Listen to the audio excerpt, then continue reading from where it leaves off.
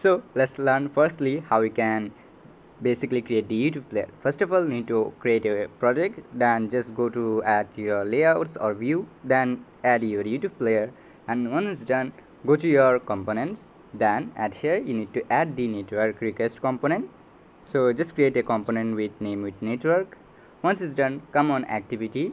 On the activity just go to at last of your block code and you find here a block section that youtube player called okay? Or if you have something else like some others youtube player plugins you can use that one. So here's the youtube player. From this one you need to get add youtube player and get lifecycle. So just select your youtube player at here and then just connect it with this thing. Now you need to paste your video url so here's my video url and just make sure you don't need to add http dot uh, uh, uh, sorry guys i'm just sorry. Uh, you don't need to add anything else just you need to paste your youtube player id or youtube video id when it's done you need to go to your permissions and permission need to enable the video permission okay? And then you need to add the network network permission.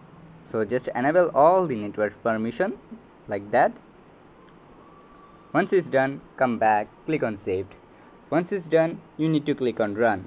Now it will build your app so it's can take few minutes for building. Okay as you can see there's a some error message. Why this problem? Make sure because this is a, a mod version you need to just click on three dots go to library and enable your design. Just again now make sure before do that you need to just click this option clear the all temporary files then run and build so make sure it can take some few times okay for building your app. And also uh, depends on your device it will be build up your app. So if you want to change the sdks and other thing make sure you do that. And also make sure that for youtube your minimum uh, sdk requirement is 4.4.4 okay? As you can see our app is now building. Let's click on install. And now let's check uh, how our video player is working make sure it also depends on your network connection. In my case it's now some bad my network in my location okay in my this location. So as you can see it's done. Now let's click on open. So as you can see it's loading. So make sure it will be work but depends on your network because my network is some bad or poor. That's why it's taking some time to load. But don't worry guys it will be 100% work. If it's not work for your case or something like that you can check my second video that how you can fix the youtube player loading okay?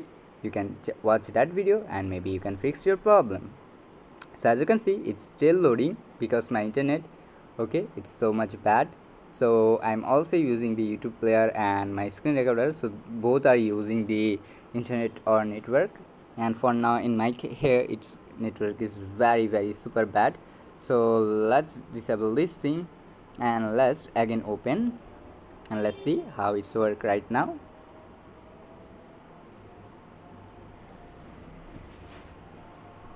So as you can see it's load. And i hope you enjoyed the video. So don't forget to like share and subscribe my channel Coding Bangla YT thank you so much for watching guys. Love you all and bye bye